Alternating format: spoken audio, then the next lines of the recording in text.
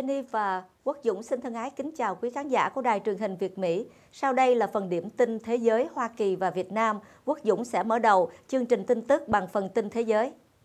Tin đến từ Pháp, dân chúng Paris xuống đường tưởng niệm hai cảnh sát bị giết. Hàng trăm người tuần hành qua một khu ngoại ô ở Paris trong im lặng để vinh danh hai nhân viên cảnh sát bị đâm chết bởi một hung thủ thề trung thành với nhóm chủ chiến nhà nước Hồi giáo IS Cảnh sát, bạn bè và những người láng giềng của các nạn nhân tuần hành từ Mantes là Jolie, nơi mà Jessica Snyder từng làm việc như một nhân viên hành chánh của cảnh sát, tới Manaville, nơi bà và người phối ngẫu chỉ huy cảnh sát Jean-Baptiste Salvain bị giết tại tư gia vào đêm thứ hai vừa rồi. Kẻ tấn công là Ra Rossi Apala, 25 tuổi, trước đó đã bị kết tội tham gia thánh chiến, đã giết chết ông Savain, 42 tuổi, bên ngoài nhà ông rồi xông vào nhà bắt người bạn đời 36 tuổi của nạn nhân và đứa con 3 tuổi làm con tin. Trước khi giết bà bằng dao, cảnh sát xông vào căn nhà và cuối cùng giết Ampala. Các nhân viên tìm thấy đứa, đứa bé trai trong tình trạng kinh hoàng nhưng không bị hãm hại. Kính thưa quý vị, tin Croatia là quốc hội biểu quyết bất tín nhiệm thủ tướng. Quốc hội Croatia hôm nay truất quyền chính phủ sau một cuộc biểu quyết bất tín nhiệm chống lại Thủ tướng Tihomir Orešković. Trong số những đại biểu có mặt trong Quốc hội gồm 151 thành viên, 125 người ủng hộ biểu quyết bất tín nhiệm, trong khi 15 người biểu quyết chống và hai người không biểu quyết. Tổng thống Croatia là ông Kolinda Graba Kitabrovic ngày mai sẽ bắt đầu những cuộc tham vấn với những người bên trong quốc hội về việc thành lập một nội các mới. Nếu tân chính phủ không được thành lập trong thời hạn 30 ngày, quốc hội sẽ bị giải tán và ông Kitarovic sẽ chỉ thị tổ chức một cuộc bầu cử sớm tại nước thành viên mới nhất của Liên minh châu Âu. Quốc hội đưa ra hành động này theo đề xuất của Liên minh Dân chủ Croatia là HDZ, bảo thủ, một hãng tham gia lâu năm trong Liên minh cầm quyền. Những nghị sĩ bảo thủ chỉ ra sự bất lực của ông Oreskovic, một chuyên gia tài chính từng du học ở Canada, trong việc lãnh đạo đất nước giữa các vấn đề kinh tế và xã hội sâu sắc. Ông Oreskovic, người không liên kết với đảng phái nào, đánh mất sự ủng hộ của SDG sau khi xung khắc với lãnh đạo của đảng này, kim phó thủ tướng.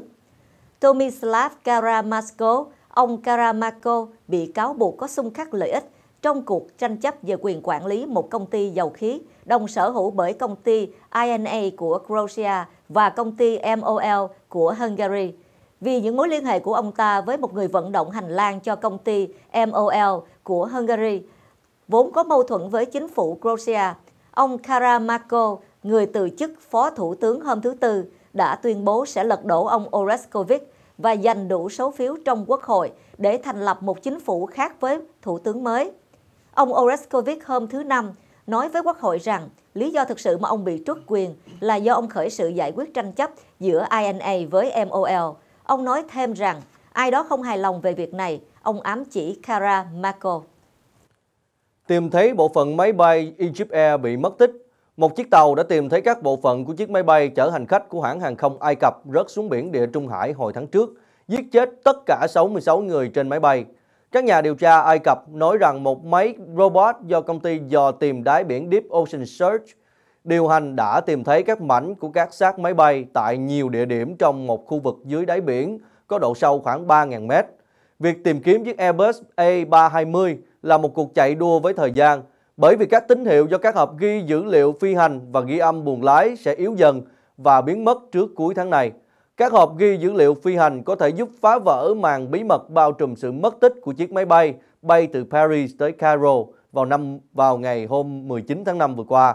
Cho tới nay, chưa có bằng chứng cớ nào có thể xác định nguyên do gây ra tai nạn.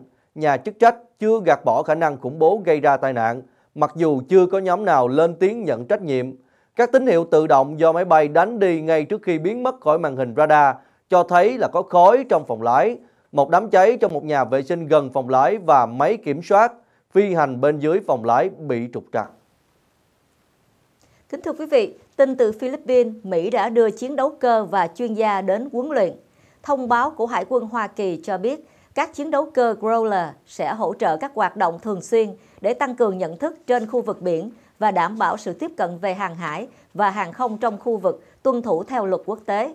Tuyên bố cũng cho biết Mỹ vẫn thường gửi máy bay chiến đấu như vậy đến khu vực châu Á-Thái Bình Dương để tập trận với các đồng minh khác người phát ngôn của không quân Philippines là đại tá Arius Roberts Musico cho biết hoạt động này không nhắm vào bất cứ nước nào mà chỉ để gia tăng khả năng của lực lượng quân đội của một trong những đội quân yếu nhất châu Á. Hồi tháng 4 vừa qua, Hoa Kỳ cho biết sẽ bắt đầu tuần tra chung với Philippines ở khu vực Biển Đông và khi Trung Quốc thực hiện việc xây lắp các đảo nhân tạo ở khu vực tranh chấp.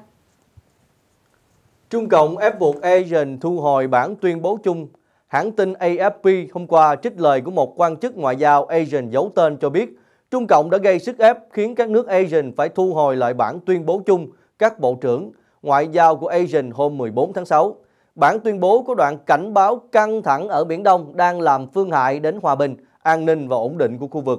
Bản tuyên bố do Malaysia đưa ra đầu tiên nêu cụ thể tình trạng lấp đất ở Biển Đông là nguồn gốc của căng thẳng. Dù không nói trực tiếp đến Trung Cộng, nhưng điều này cũng là ám chỉ về các hoạt động cải tạo đất đá gần đây của Trung Cộng ở vùng nước tranh chấp. Chỉ vài giờ đồng hồ sau đó, Malaysia cho biết Asian phải thu hồi lại bản tuyên bố vì những thay đổi khẩn cấp, nhưng không đưa ra lý do cụ thể vì sao. Viên chức ngoại giao giấu tên cho rằng yếu tố sức ép từ Trung Cộng là đương nhiên. Ngoài ra, vị này còn nghi ngờ khả năng có hai nước phản đối bản tuyên bố là Cambodia và Lào. Kính thưa quý vị, tin Geneva là nhân viên IT Mozart Fonesca đã bị bắt vì đánh cắp tài liệu Panama. Một nhân viên công nghệ thông tin IT của công ty luật Mozart Fonseca đã bị bắt tại Geneva, Thụy Sĩ với cáo buộc đánh cắp và làm rò rỉ tài liệu trong vụ hồ sơ Panama. Theo Guardian dẫn lời người phát ngôn của công tố Geneva, xác nhận vụ bắt giữ ngày 15 tháng 6 theo giờ địa phương. Theo đó, Bộ Nội vụ Thụy Sĩ đã yêu cầu một lệnh bắt giữ nghi phạm sau khi nhận được khiếu nại từ công ty Mossack Fonesca. Danh tính của nhân viên này không được tiết lộ, phía công tố cũng không đưa ra bất kỳ thông tin gì thêm. Trong khi đó, tờ Süddeutsche Zeitung của Đức, nơi đầu tiên công bố những thông tin rò rỉ trong vụ hồ sơ Panama, tin rằng nhân viên IT vừa bị bắt không phải là người mang bí danh John Doe, đã cung cấp thông tin cho tờ này trước đó. Một nguồn tin riêng của The Guardian cũng tiết lộ người, người vừa bị bắt không phải là John Doe. Nhận định về vụ bắt giữ, luật sư Thierry Uman cho rằng mọi khả năng đều có thể xảy ra. Điều chúng ta biết cho tới bây giờ đó là tất cả dữ liệu trong vụ hồ sơ Panama đều bị lấy đi thông qua máy tính của nhân viên này ở Geneva. Anh này cũng có quyền truy cập đầy đủ với những tài liệu đó, luật sư này nói. Hiện cảnh sát đã lục soát căn hộ của nhân viên IT nói trên và thu thập thêm bằng chứng từ văn phòng của Mozart Fonseca tại thành phố Geneva. Tin từ Panama, Bộ trưởng Y tế từ chức vì dịch cúm heo bùng phát. Ngày 15 tháng 6, Bộ trưởng Y tế Panama đệ đơn từ chức trong bối cảnh dịch cúm heo đang hoành hành tại quốc gia này, khiến 22 người thiệt mạng. Chính phủ Panama cho biết, Bộ trưởng Y tế Francisco Javier Terriante đã đệ đơn từ chức vì những lý do chuyên môn. Cũng theo thông báo, Tổng thống Panama Juan Carlos Varela đã bổ nhiệm Thứ trưởng Y tế Miguel Mayo giữ thay chức ông Terriante. Quyết định từ chức của ông Francisco Javier Terriante diễn ra trong bối cảnh mà các bệnh viện trạm y tế của quốc gia Trung Mỹ đang quá tải vì số lượng người chờ được tiêm phòng vaccine cúm A H1N1, còn được gọi là H1N1. Dịch cúm này đang trở nên đặc biệt nguy hiểm trong năm nay tại Panama. Kể từ đầu tháng 5, đã có 22 trường hợp tử vong vì virus cúm A và 671 người phải nhập viện. Trong số đó có 38 người đang phải điều trị tích cực. Chính phủ Panama cho biết trong tuần tới sẽ cung cấp gần 1 triệu liều vaccine phòng, phòng chống cúm A. Cúm A, còn gọi là cúm heo, được phát hiện lần đầu vào năm 2009, lây lan từ Mỹ sang Mexico khiến Tổ chức Y tế Thế giới WHO phải tuyên bố về dịch bệnh liên quan trong năm. Loại virus này gây nhiễm trùng đường hô hấp với các triệu chứng biểu hiện từ đơn giản đến phức tạp, có thể nguy hiểm tới mức chết người. Tại các vùng nhiệt đới như Panama, dịch cúm này có thể xảy ra quanh năm, nhưng nhiều nhất là vào mùa mưa. Hiện tại mùa mưa vừa bắt đầu tại Panama. Kính thưa quý vị, vừa rồi là phần điểm tin thế giới. Xin quý vị đừng rời máy, chúng tôi xin tạm ngưng chương trình tin tức trong giây lát và sẽ trở lại tin tức sau phần quảng cáo thương mại.